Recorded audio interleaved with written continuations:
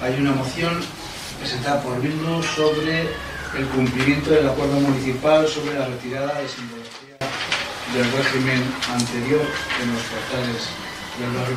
Afecta, pues en, lo que se refiere a las banderas del ayuntamiento fue prácticamente inmediato, mientras que eh, habéis requerido a los vecinos y todo correctamente, ya, ya ya hay los papeles, pero es que no han movido ficha.